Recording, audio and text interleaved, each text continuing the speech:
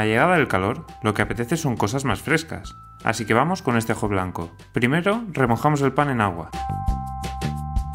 y lo sumergimos para que quede bien empapado. Seguimos con las almendras y los ajos, que los vamos a triturar.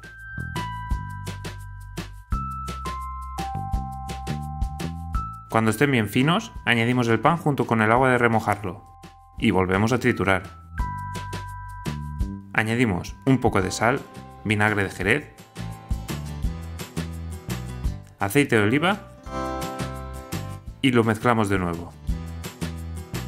Servimos en un cuenco y lo acompañamos de unas almendras laminadas y un poco de apio picado.